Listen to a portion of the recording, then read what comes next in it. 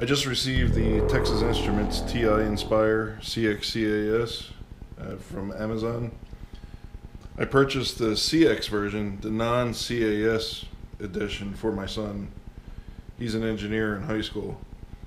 And the TI-Nspire CXCAS edition has the ability to reduce radicals such as square root of 8 to 2 to square root of 2 instead of a rational number like 2.83.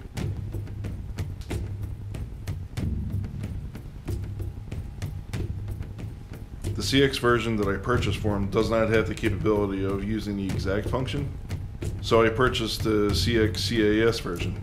CAS stands for Computer Algebra System. Now the features on the CXCAS you can see are nearly identical with the exception of this one feature here, computer algebra system. This is important since he is an engineer. He'll need this. This is an unboxing of the TI-Nspire CX CAS calculator.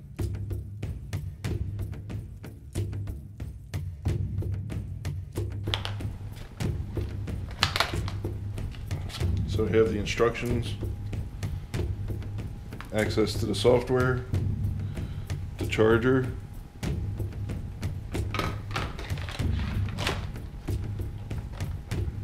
the charging cable, and a sync cable for the computer.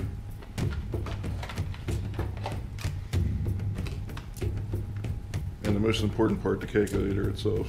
The calculator comes with a case. It's a cover snaps into place.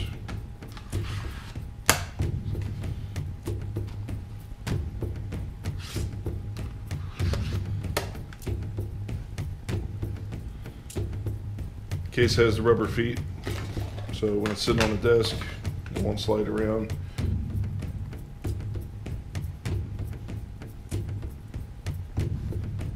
Okay, so this is powering up the calculator.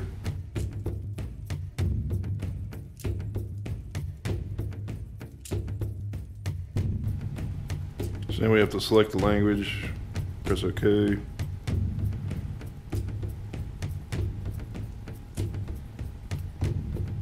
Choose the font size.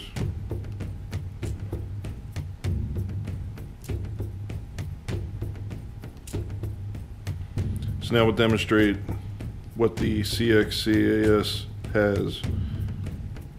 Click on calculate.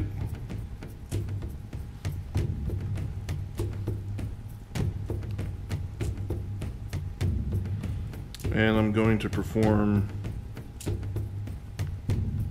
square root of 8.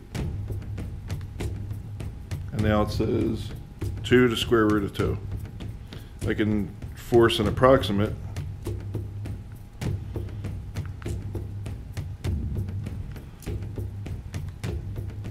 And there you go, 2.83. That's the approximate value.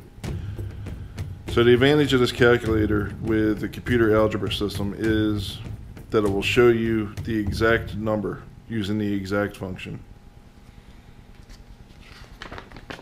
Here's the instruction guide.